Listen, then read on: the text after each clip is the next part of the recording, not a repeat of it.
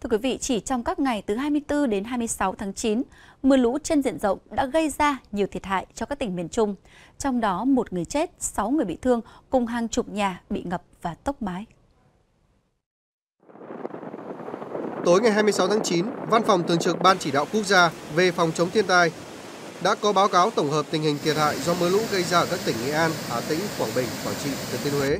Trong các ngày từ 24 đến 26 tháng 9, thống kê ban đầu cho thấy tại Quảng Trị, một người dân tử vong khi bị sét đánh trong lúc đang bắt cá trên biển. Trong khi đó, Thừa Thiên Huế ghi nhận 6 trường hợp người dân bị thương do mưa lũ. Ngoài ra, mưa lũ miền Trung khiến 28 nhà bị ngập và 155 nhà bị tốc mái, 32 nhà ở Quảng Bình phải di rời khẩn cấp. Đến tối qua, người dân đã trở về nhà.